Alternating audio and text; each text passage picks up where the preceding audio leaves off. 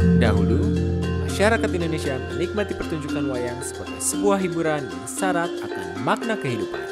Kini, kita memiliki banyak alternatif hiburan, mulai dari film, Waduh, paket apa lagi nih, Jak?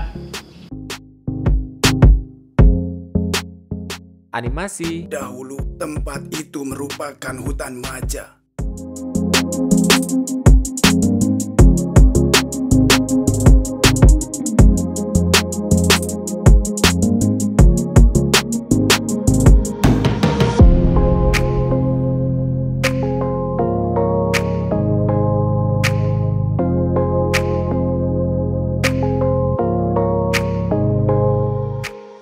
Games, virtual reality,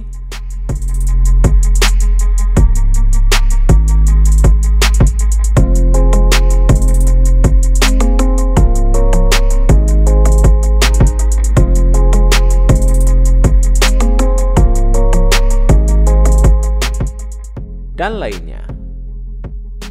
Fungsinya bisa sekedar hiburan ataupun mencari adrenalin. Semakin banyak masyarakat yang mampu memproduksi konten digital.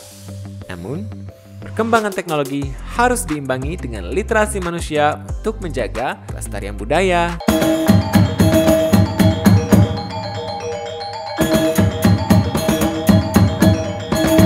kebijaksanaan, dan karakter sosial sebagai pelajaran hidup.